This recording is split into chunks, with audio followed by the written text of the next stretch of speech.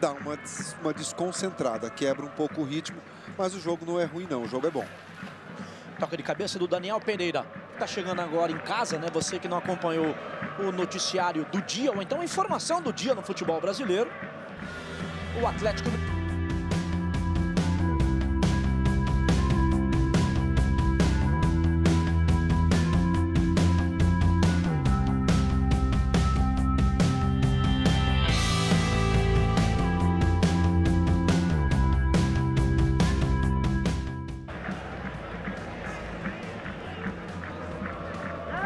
Daniel Pereira.